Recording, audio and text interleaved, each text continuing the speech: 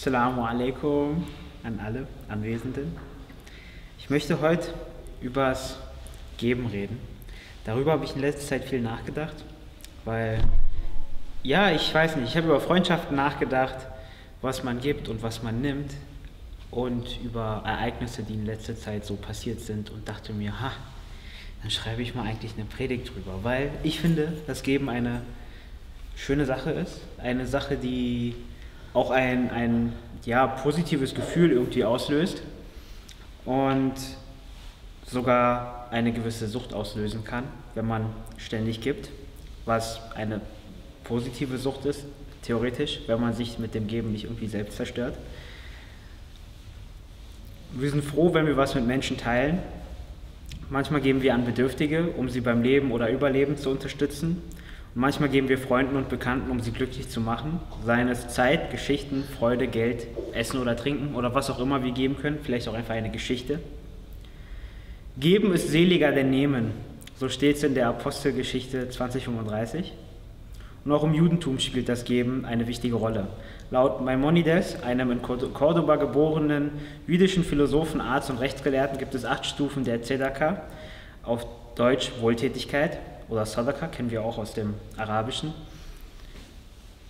Erstens, die höchste Stufe, den Bedürftigen die Möglichkeit geben, sich selbst zu ernähren, das heißt Hilfe zur Selbsthilfe. Zweitens, Wohltätigkeit in einer Weise, dass der Spender und der Bedürftige nicht voneinander wissen. Drittens, der Wohltäter weiß, wem er gibt, der, aber der Arme erfährt nicht von der Identität des Spenders. Viertens, der Gebende kennt nicht die Identität des Bedürftigen, aber dieser kennt den Spender. Fünftens, geben, bevor man gebeten wird. Sechstens, geben, nachdem man gebeten wird. Siebtens, zwar ausreichend, äh, zwar nicht ausreichend geben, aber immerhin mit Freund, Freundlichkeit. Und achtens, mit Unfreundlichkeit geben. Und auch in unserer Religion, dem Islam, äh, gehört äh, ja, das Geben, das Spenden, die Almosen, ist, ist ein wichtiger Teil, Teil unserer Religion, ist einer der fünf Säulen. Zakat, die, also die Almosen, wird im Koran 32 Mal erwähnt und ist eine Pflicht für jeden gläubigen Menschen oder für, ja, eigentlich für jeden Menschen, der es sich leisten kann. Und die 32 Mal, die Zakat im Koran vorkommt, sind nur speziell das Wort Zakat. Es gibt auch andere Worte wie Sadaka, die dann zusammengerechnet auf viel mehr kommen. Aber Rechtsgelehrte haben sich später dann darauf geeinigt, was der Zakatsatz ist. Sie haben sich auf 2,5 Prozent des Jahreseinkommens geeinigt. Aber Zakat und einfach geben unterscheiden sich in einer an einer wichtigen Stelle. Und zwar kann ich dir geben oder dir geben oder dir geben.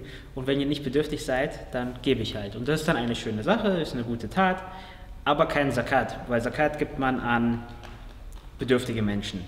Dazu steht im Koran, die Almosen, hier auch As-Sadakat genannt, sind für die Armen, die Bedürftigen, die, die sich um sie kümmern und die, deren Herzen gewonnen werden sollen für, den, für die Sklaven und Schuldner, für den Weg Gottes und den Sohn des Weges als Verpflichtung von Seiten Gottes. Gott ist wissend und weise, steht im Koran, Sure 9, Vers 60. In diesem Vers werden auch, so als Info, Sklaven genannt. Wir haben normalerweise heute keine Sklaven mehr, ich weiß, das passiert immer noch, aber es gab eine innerislamische Debatte kurz nach dem Zweiten Weltkrieg, eine ja, postkoloniale Debatte, wie man das Wort Sklaven neu besetzen kann. Und das ist dann auch ein Beispiel dafür, wie sich die Religion auch immer weiter wandelt.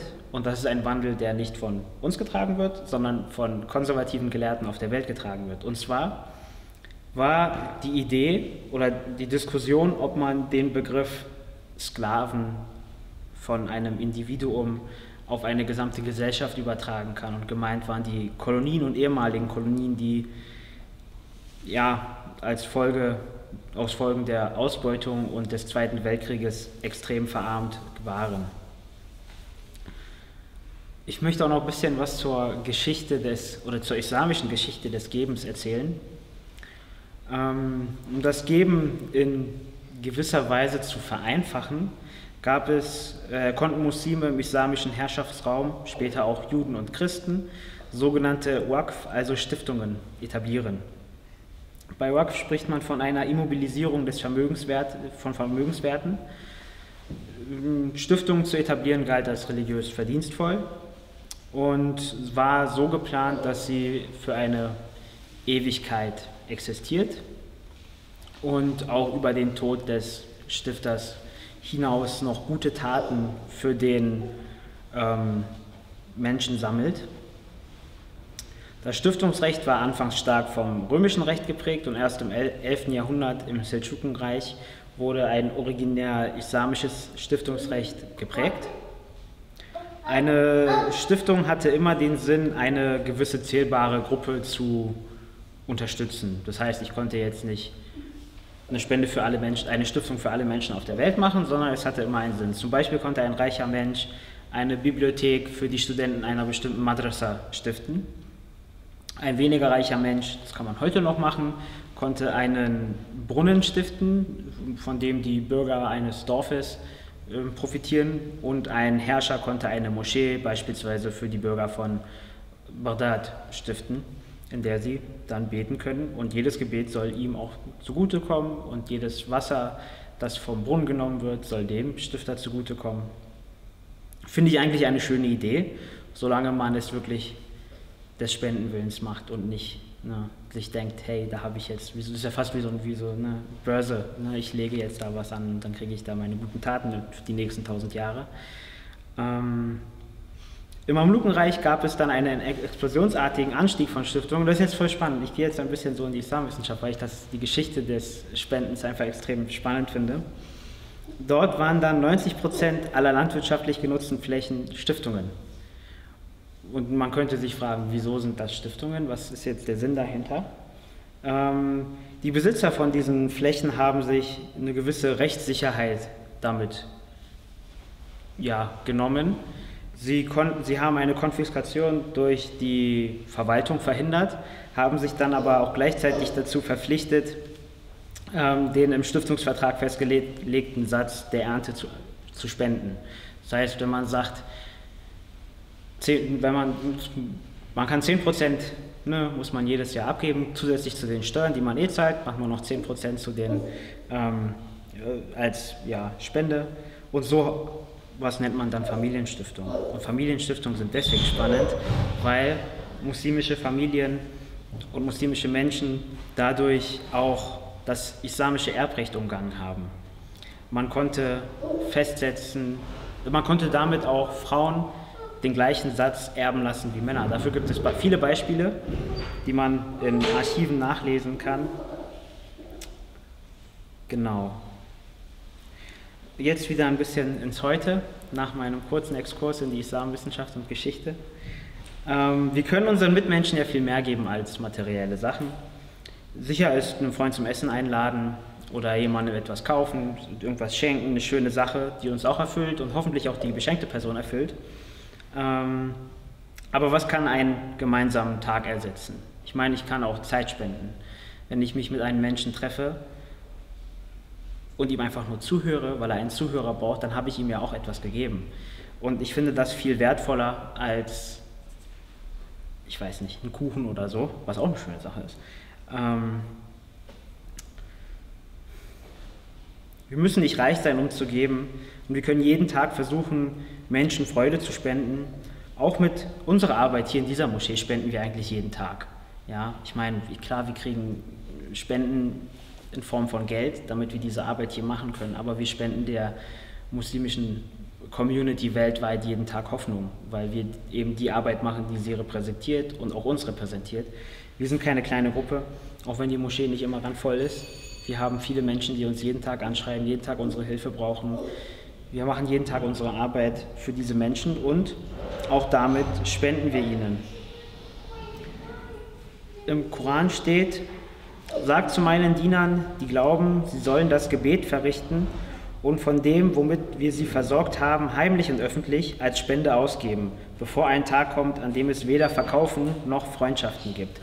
Das steht in Sure 14, Vers 31. Und wenn Gott uns diese Freude und diese Hoffnung und die Kraft wenn er uns diese Kraft gibt, das hier zu machen, dann ist es unsere Aufgabe, genau so weiterzumachen, unsere Hoffnung anderen Menschen zu spenden, unsere Arbeit anderen Menschen zu spenden, weil das, was wir hier machen, ist ja kein Selbstzweck für uns. Wir arbeiten ja nicht für uns hier ausschließlich. Wir arbeiten ja für Menschen, die wir, die so fühlen wie wir. Und an dieser Stelle möchte ich, wie immer, ähm, aus der Prophet vorlesen, weil es gibt dort ein Kapitel, das heißt vom Geben und es hat einfach gepasst. Ich habe diese Predigt geschrieben und habe danach in das, nee, ja, ich habe diese Idee gehabt, diese Predigt zu schreiben und danach in das Buch geguckt und dann gibt es da ein Kapitel, das heißt vom Geben. Und ich fand das sehr schön, weil einige der Gedanken, die ich hatte, waren auch da drin von Khalil Gibran. So. Vom Geben. Da sagte ein Reicher, spricht zu uns vom Geben. Und er antwortete, ihr gebt nur wenig, wenn ihr von eurer Habe gebt. Wahrhaft gebt ihr erst, wenn ihr von euch gebt. Denn was in eurer Habe anderes als denn was ist eure Habe anderes als Dinge, die ihr aus Furcht, ihr könntet sie morgen benötigen, auch bewahrt und bewacht? Und morgen, was wird das morgen dem übervorsichtigen Hund schon bringen, der Knochen im weglosen Sand vergräbt, während er den Pilgern zur heiligen Stadt folgt? Und was ist Furcht vor Not denn anderes als Not? Ist nicht die Angst vor Durst, wenn euer, wenn euer Brunnen voll ist, erst der Durst, den nichts je löschen kann? Menschen gibt es, die von dem vielen, das sie haben, wenig geben und es nur um Anerkennung willen tun. Und, in, und ihr geheimer Wunsch macht ihre Gabe unbekömmlich. Und Menschen gibt es, die wenig haben und es restlos hingeben. Sie sind diejenigen, die an das Leben und des Lebens Fülle glauben und ihre Truhe wird niemals leer. Menschen gibt es, die voller Freude geben und diese Freude ist ihr Lohn.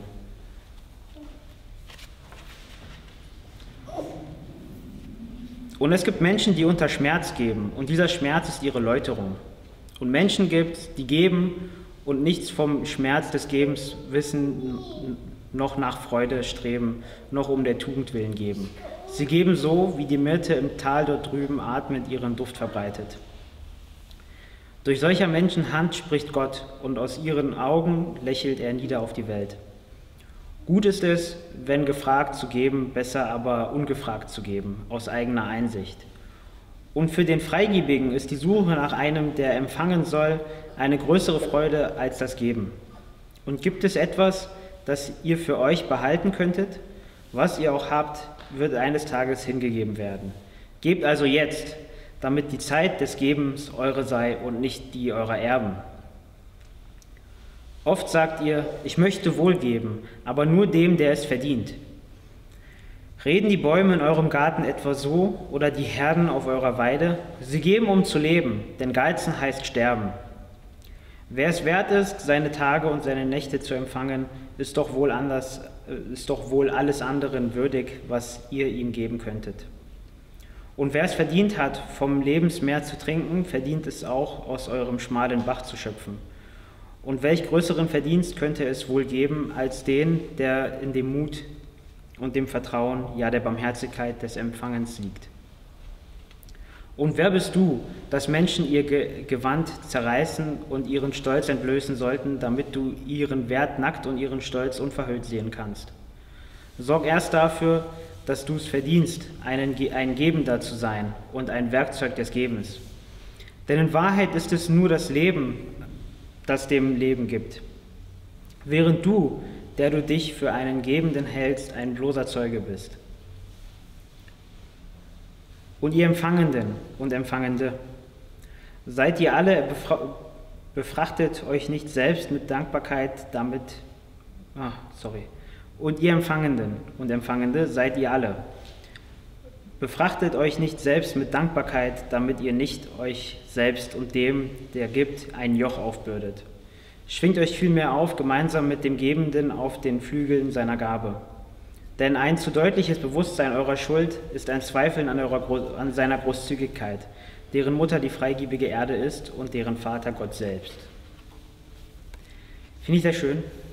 Ich liebe dieses Buch, kann ich nur empfehlen. Ähm, ja, ich fand die letzte Stelle eigentlich auch sehr schön. Ne? Man muss nicht tausendmal Danke sagen. Soll man ja auch gar nicht. Ne? Menschen, die geben, geben gerne. Was nur schön ist, ist, wenn man einem gebenden Menschen dann nicht auch noch die ganze Zeit nervt. Ne? Also immer neue Sachen will und immer unzufrieden ist. Das ist echt nicht Sinn der Sache. Ja? Sag nicht Danke. Wollen wir gar nicht. Will niemand. Ein kleines Danke wäre schön natürlich manchmal, aber ja, keine Unverschämtheit vielleicht. So wie es in den letzten Tagen manchmal passiert ist bei mir. Deswegen dachte ich, hey, voll die gute Zeit, diese Predigt zu machen, weil ich wusste eh nicht, was ich schreiben soll. Aber ja, Dankeschön.